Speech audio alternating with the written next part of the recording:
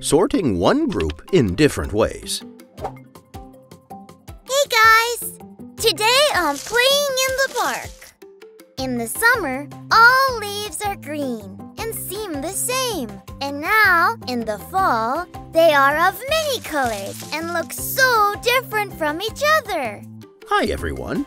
Yes, leaves change their color in the fall, but color is not their only difference. Else is different? Look carefully. There are leaves of different trees in this heap.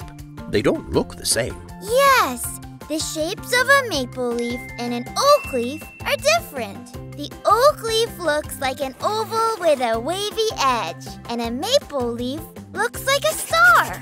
Try to sort this heap into two groups maple leaves and oak leaves. I'll give it a go.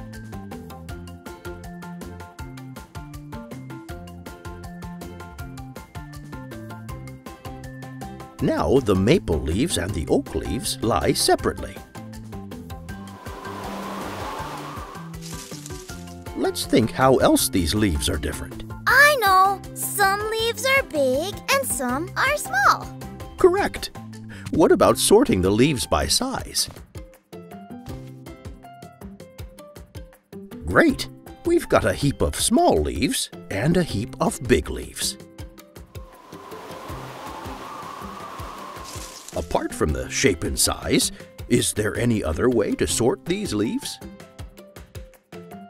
I think we can also sort them by color. They are all of different colors. Not exactly. Some leaves are yellow, some are red, and some are two-colored, yellow and green. Let us see how many leaves of each color there are. Sure thing. That's easy. Leaves are the most. Red leaves are less. And yellow and green leaves are the least. Even though these leaves have fallen off, they are still very beautiful.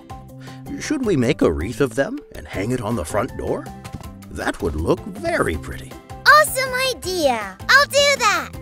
It'll be easy because I've already sorted the leaves by shape, size, and color. At our next lesson, we'll learn everything about patterns. See you soon! Bye, guys. Subscribe to our channel to stay updated on new videos. Find links to our apps in the comments below.